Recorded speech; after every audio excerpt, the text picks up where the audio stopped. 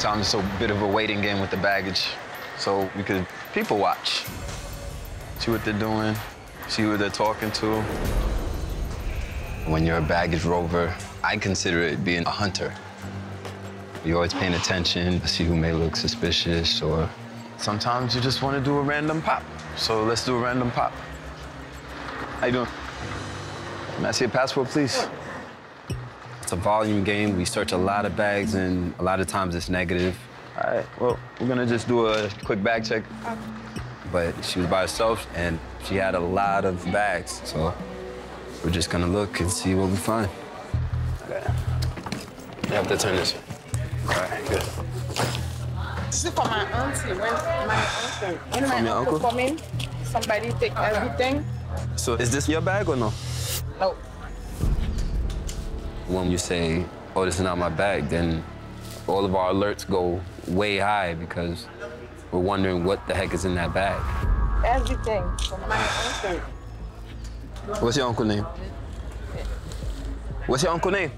No, no, I don't. What is your uncle's name? I forgot. You forgot?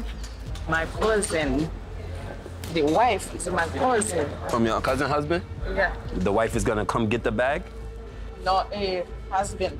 The husband? All right. She gave you the bag. Did you even open the bag to see what's inside? I don't know. It's just You don't. crazy, but I don't know. It's one of the Why are you taking somebody else's bag? If it's not your bag, you shouldn't be taking it. You don't know what's all this.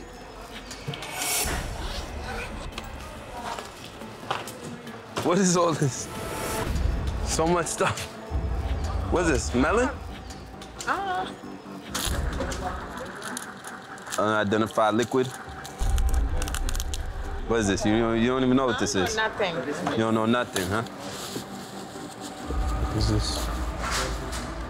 What the hell? What is that? Narcotics, drugs.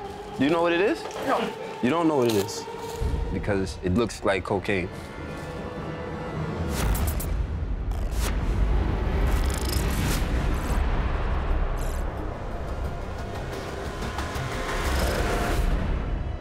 You don't know?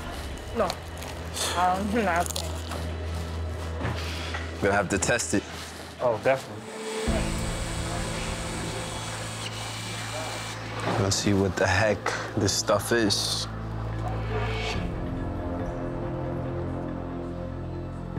So now it's just analyzing.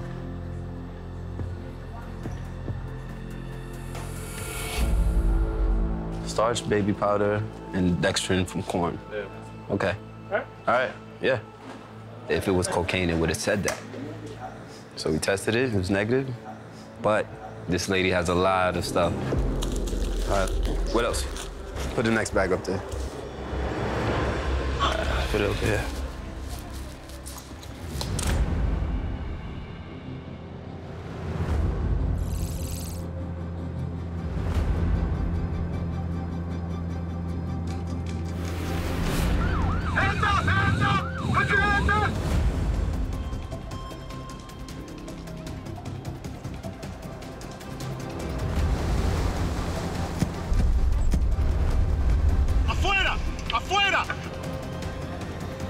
Yeah, this place is loaded.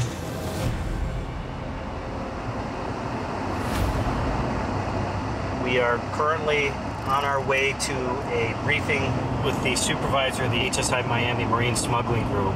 His group at the seaport and our group at the airport work really closely together to combat criminal activities that are happening throughout the Miami port system. We are going to talk about a case where his team seized a yacht that was being used to smuggle a significant amount of cocaine.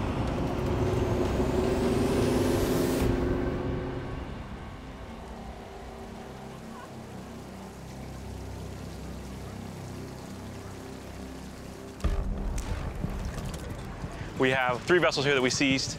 This is the most recent. South Florida is a boating community. There's tons of boats everywhere, so very difficult to regulate that traffic. We have a pretty decent amount of trade with the Dominican Republic and a lot of uh, recreational vessel activity between the Dominican Republic and the United States. You know, yachts, sailing vessels that are transiting, so that provides opportunities for these organizations to kind of mix in with that legitimate travel and exploit it. Initially encountered the vessel coming out of Dominican Republic into Fort Lauderdale, actually.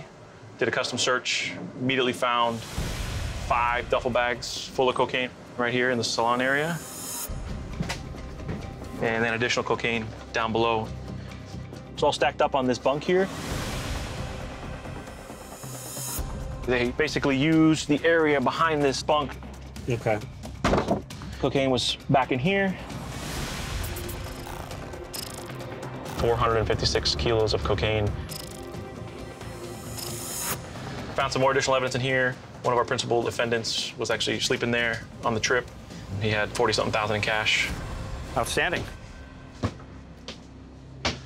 They do an at sea transfer. So cocaine goes from the boat out of the DR onto this boat, snaking their way through the Bahamas, stopping for fuel, and then into the, into the US. And how many subjects were there? Four were taken into custody, two were arrested. The captain was on this boat that night, but we did release them as we collected evidence. The investigation took a little bit of time, but the plan tomorrow is to go out and execute an arrest warrant for him. We're going to wait till he comes out of the residence and hopefully prevent a situation where we have to try to track down somebody who's trying to evade getting arrested.